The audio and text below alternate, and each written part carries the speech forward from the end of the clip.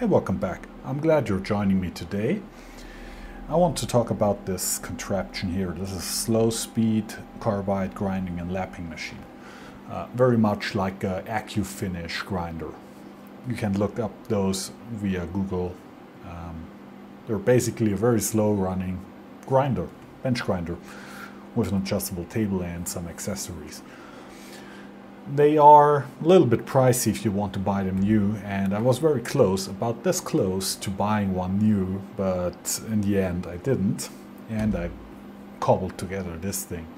It has a, a 24 volt motor, geared motor, runs about 240 RPM here on the wheel. It takes 100 millimeter wheels, and the wheels have a quick change mechanism that I designed.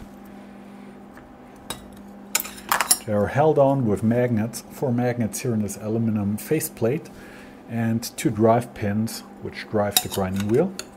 And you just slide the wheel in here and it, it holds via the magnet. And this has already proven to work excellent. Uh, it's self-contained, it has a 24 volt power supply in the base in here. And it's running both directions. Uh, has an adjustable table here. Goes from 45 to, I think, minus 20 degrees.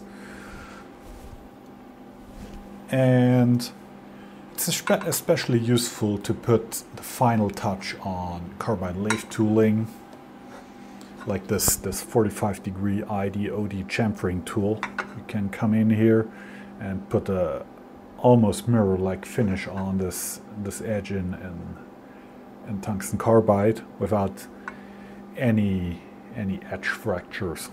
Also, you can change the the orientation which the motor runs, so you're always grinding into the edge. You want to grind carbide whenever possible, always into the cutting edge, otherwise you create micro fractures and you end up with a with a ragged edge that wears way faster. Of course, it's also useful to grind carbide scraper blades like this one. This is a, a like a, a Sandvik scraper blade insert thing. And you can just do your usual radius grinding on here, your freehand lapping. This is not for massive material removal. This is only for sharpening, lapping, and also to, to, to form tiny corner radii on lathe tooling, for example.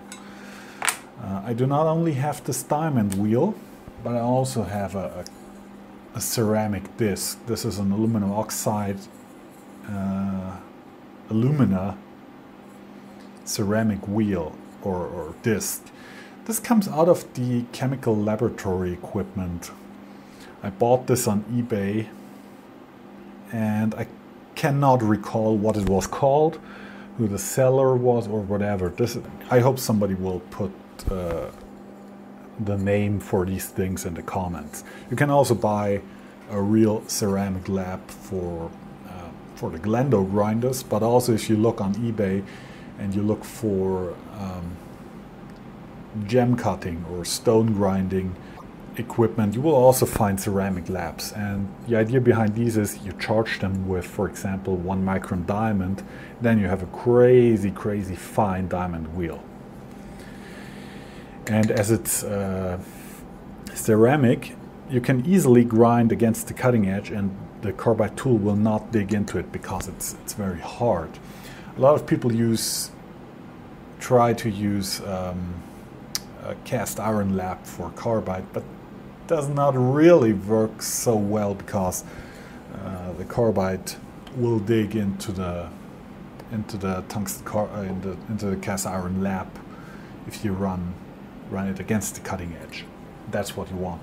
So I'm going to take a piece of one millimeter sheet metal or two millimeter sheet metal and super glue it to the back of this uh, uh ceramic disc and previously I will have drilled the holes that I need into the steel disc so I can put this on here too and use it as a ceramic lap.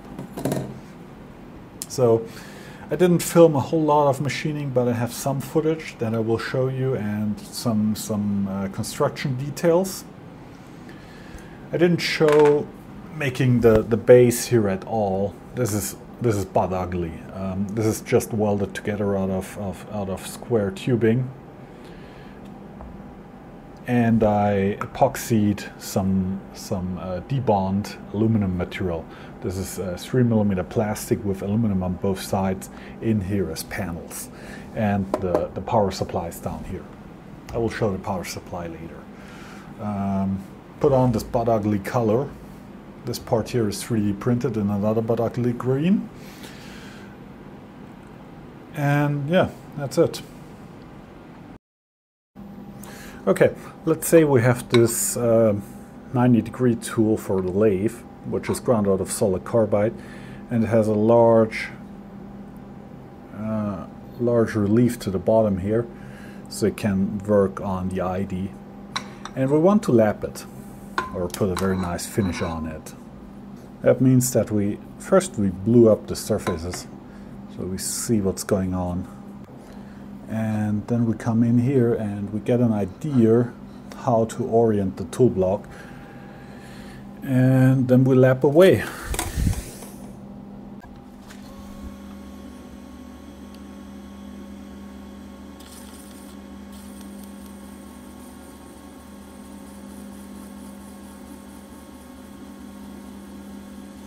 And after some a few moments you will see black dust starting to form on the on top of the tool.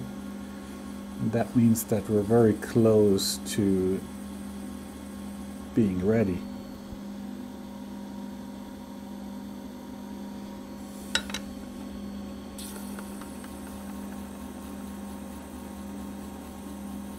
There we go. That's the that's the finish we get off this carbide lap or this diamond lap. Now we go to the other side of the tool and repeat.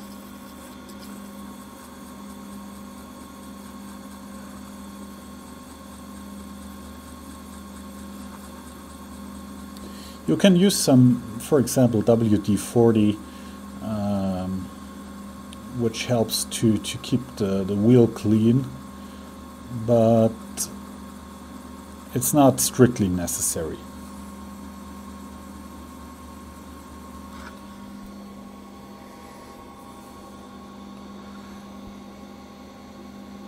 And there we go on the other side. Quite a nice finish. Not a mirror fit. Not a mirror finish. Uh, that's what the carbide lap, uh, the ceramic lap did before. But we can put a nice radius on the end of this tool now. Just by freehanding it.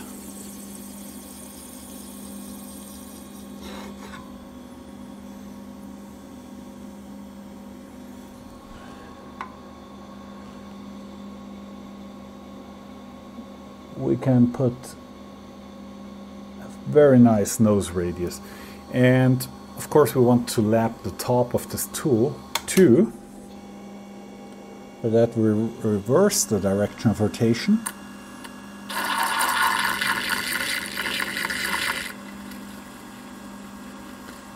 and we lap like this.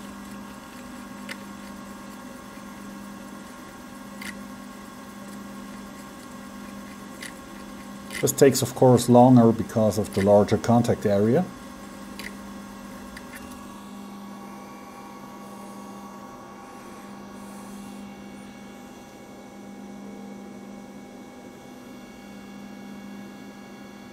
But that's what we get. Okay, here is a close-up of the lapped tool and you can see here and here are the relief surfaces and they have an excellent finish. Uh, this is this is uh, almost a mirror finish and you can see the radius in front here which has the same very good finish and the top is not not as good that is still pretty decent and uh, very serviceable. But Here you can see the real advantage of the slow speed grinder. It allowed me to, to form this small corner radius without much trouble and with excellent surface finish. Another very cool application are molded inserts, molded carbide inserts, with even even coated ones. I do a lot of very small turning uh, turn parts. I, ha I have to do about 40 very precise and very small stainless parts in near future. And for those applications, razor sharp carbide tools are really useful. And you can take a molded insert and grind a micro bevel like here. That's a, a smaller bevel with a slightly smaller relief angle than, than the main relief angle onto the insert and and then it's an, a sharp insert and that's really quick too.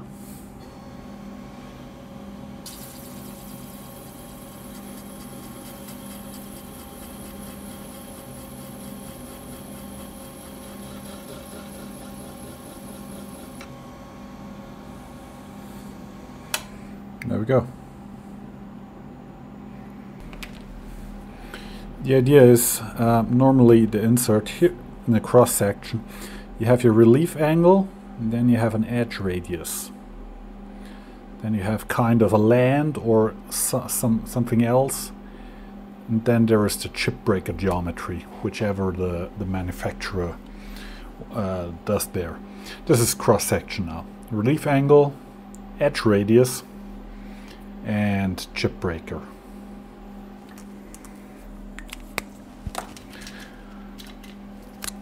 This is what, what the manufacturer does, especially the, the edge radius here. This is what makes the carbide insert last in a production environment. A dead sharp edge does just not last as long. But I have different uh, needs on an insert than somebody who does high production on a CNC machine. So what I basically do is I lap away all the material up to here and I end up basically with relief angle, land, chip breaker. So I have a, a dead sharp edge here. This what allows me to turn with very very small depth of cuts and still get a very good finish. I usually did this with very fine uh, diamond wheel on D-bit grinder but on the slow speed grinder here it's it's faster and easier to, to, to do because you can just freehand it.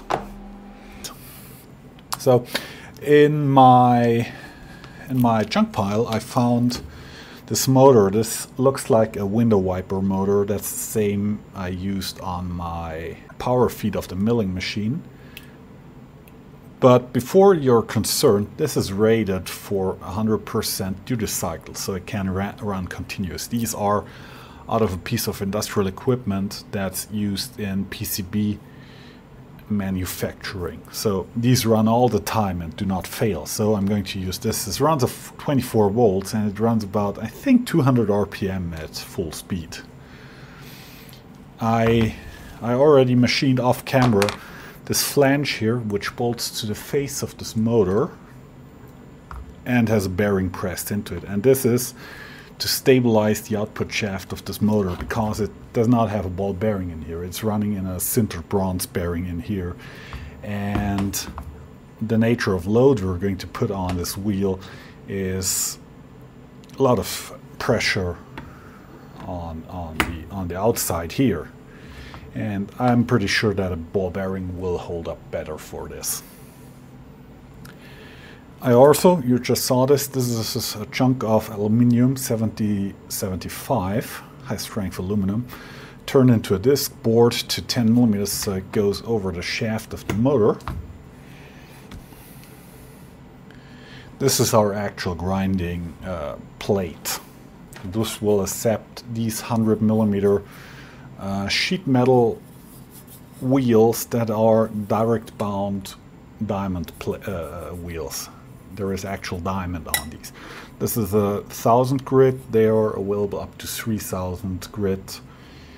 And I also have a solution for ceramic lapping, which I will show you later.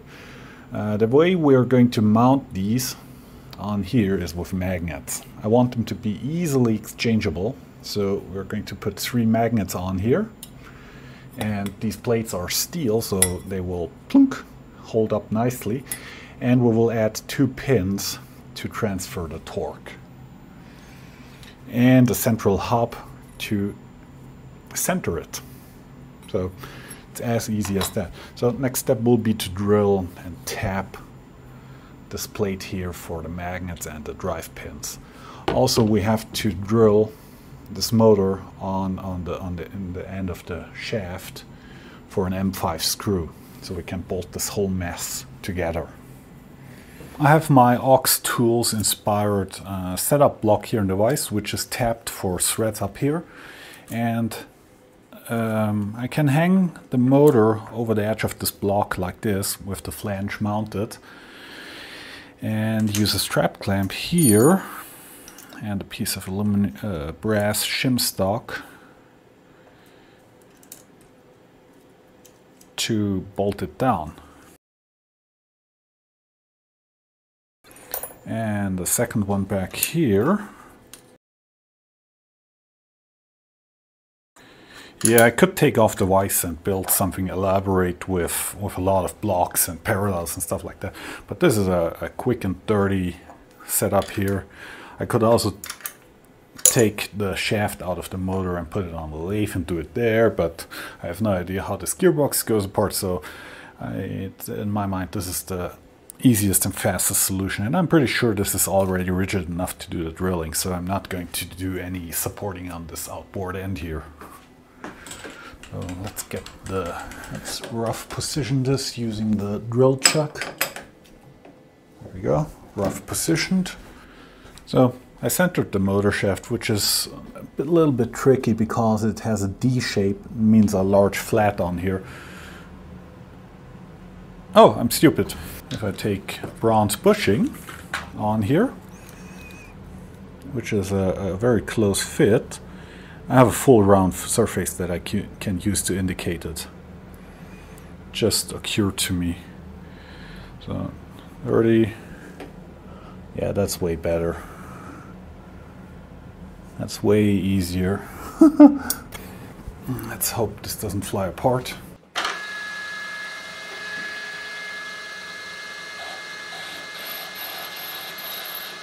Yeah.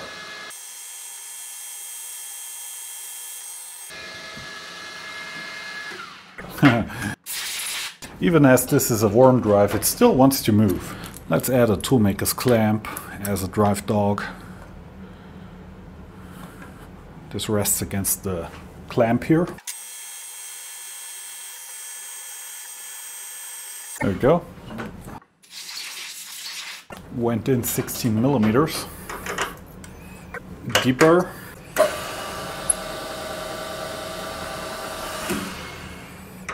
And tap it. Run it at slow speed. Zero out the DRO and we're going 13 millimeters deep.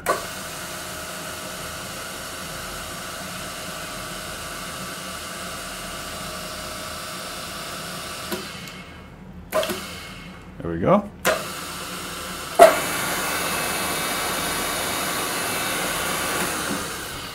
I put the faceplate for the grinder on the mill and I drilled the hole pattern for two drive, drive pins, 3mm dowel pins and four pockets for these magnets, which I also happen to have in my scrap bin, which will be epoxied or super glued into these pockets.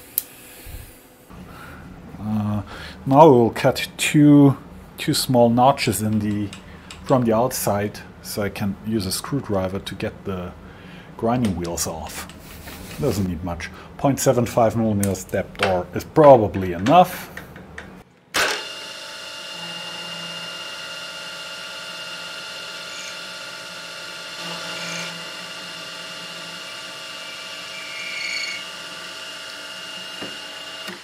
Go. And while we're here, it's also easy to drill the one grinding disc that I have. Just put this on here and use two clamps to hold it in place and then we drill through it. That's easy because we already have centered on the aluminium disc and this will make it easy. For now I only have this one grinding wheel but I definitely going to order more of these. You will find them on eBay if you search for diamond wheel or diamond 1000 grit or a diamond uh, 100 millimeters or diamond 4 inch or whatever. Um, you will find them. I'm not going to, to put a link to this wheel into this description because the, the people who sell these change each week anyway, so um, it's probably completely useless to put the link in there because it will be available for a few minutes. Uh, notice that the diamond does not go all the way up to, to the center of the plate, so it's easy to drill here. We could drill through the diamond plating too because the drill will bite through, but in this case we don't have to.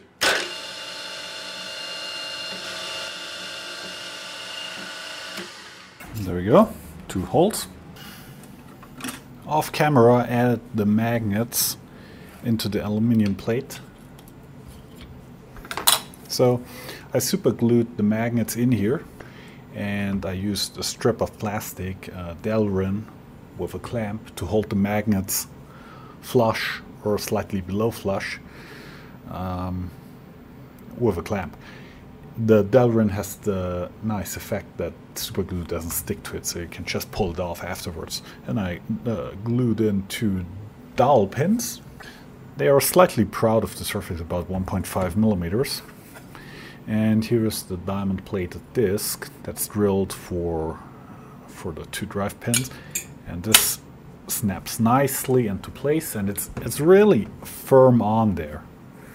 It's really it's really holding on very nicely. Um, this big aluminium disc, before you ask, has an M5 thread on the side to lock it against the flat of the shaft and the axial screw that pulls it up against the face and against the bearing. So this is reasonably rigid and has basically no axial play because it's running up against the bearing. So that's okay.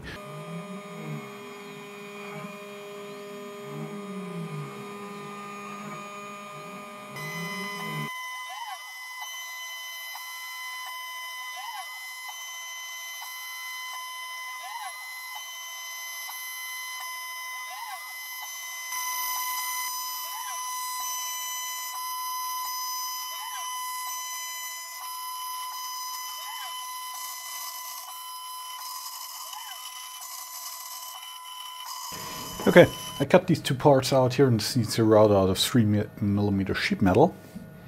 And these are the side trunnions that go on the tilting table of the, of the slow speed grinder. The parts were held on a sacrificial block of um, of RenShape, which is a polyurethane foam. I like to use this stuff as a sacrificial block because you can cut into it and it doesn't harm the the cutter at all. It can be super glued, it takes wood screws, it takes metal screws, and it's reasonably cheap and it's easy to surface if it's worn down. And the way I hold these parts on here is with um, blue scotch tape on both sides and super glue in between the uh, so-called super, super glue technique. John Saunders showed that numerous times in a, in a bunch of videos. The only problem is to get it off. Sometimes you can sneak in a screwdriver just pry it off like this. And really the the benefit compared to using double-sided double sticky tape, it doesn't leave as much residue or at all. And it doesn't tend to gum up the end mill. I tried the powder powder coating tape that uh, John uh, recommends, but I'm not too happy with it. I prefer I prefer the blue masking tape. So let's see if we can get these parts off here without damaging them too much. Sneak in a razor blade and use a screwdriver to pry it off. Dunk. Reasonably nice wall finish here. Um, used a 3mm 3 fluted carbide end mill and I spiral spiraled down the contour into solid and then took a finishing pass at full height all the way around. There we go, slide a razor blade in, get a screwdriver. You could jam the screwdriver between the part and the polyurethane foam too, but that tends to leave a mark on the part. So we don't do that. There we go. That's two for two. Here is the base, which is a frame out of 20 by 8 millimeter uh, square tubing. It has the two trunnions, which are, are out of 3 millimeter sheet metal, welded to it, and they have a reamed 8 millimeter hole. Uh, when I welded the trunnions to the base, I had a, a 8 millimeter shaft in here, and I checked for for warpage, so it, it still spun freely in there. Then I machined those two moving trunnions on the CNC router and I took a piece of angle iron, I, I, machined the inside here so I could weld those two brackets in there, here and here. And I took a piece of 3mm sheet metal, rounded the edges and TIG brazed it to this angle. Uh, I went for TIG brazing because I didn't want to put a lot of heat into this, this plate and warp, warp it like a potato chip and it stayed reasonably flat. So that's the table. And it goes on here. And you take your shaft and it goes through there. Uh, shaft collar will go on both ends of the shaft, so it's locked so it, it, and captive. Then we have these arc-shaped uh, holes those screws that go along here. I will get some adjustable uh, Kipp handles. Don't have M4 uh, in stock. And that's my angle adjustment. Uh, it's as easy as that. Then we have our drive unit with the flange machined with the two M M6 holes that bolt in here.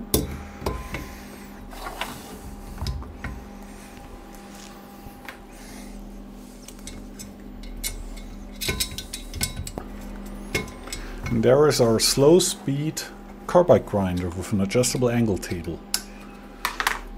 Uh, goes from minus, uh, not sure how much that is, to down to 45.